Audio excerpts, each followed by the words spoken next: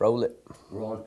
Favorite part of filming the team shootout for me was just uh, getting to ride with the rest of the crew. Um, I hadn't been able to ride with like LNP and Eiki for a long time, um, and Marie for that matter. So yeah, just getting to shred with everybody and uh, surviving.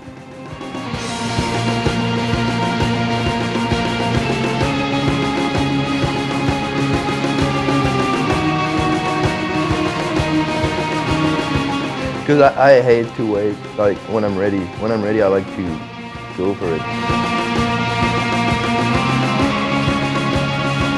Everybody else around being like, is that angle is okay? Is that light okay? Is that okay or not? It's the worst feeling to be out there just being the only one sitting down and not doing anything everyone's looking at you like, just gonna hit it. Roof ride was kind of really sketchy because we were hopping onto a roof and the roof was super sticky.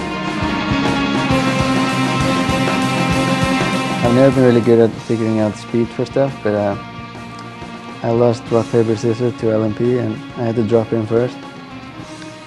We just tagged up and dropped in and ended up holding it and just, like, just cleared.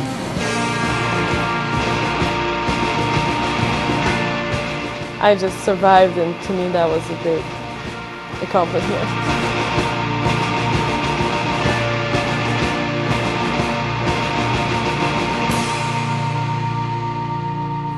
So yeah, that was sketchy. That's scary actually. It was super scary.